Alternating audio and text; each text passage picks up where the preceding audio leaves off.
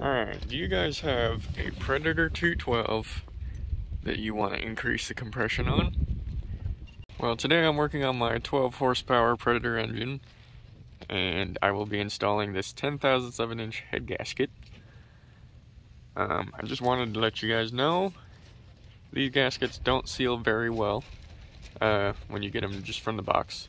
They can seal okay for a while, but you, they usually blow out after a bit. Trust me, I know. So what you get is a bottle of this copper spray gasket. You can usually find it at AutoZone. And you just spray each side of that gasket and then just let it uh, dry up. Right now it's still a little bit of tacky, but once it dries up, then you put it back into the engine and this will help it seal a lot better. At least that's the hope anyway. I guess I, I'll let you guys know. But that head gasket is replacing this old 40 thousandths head gasket in here.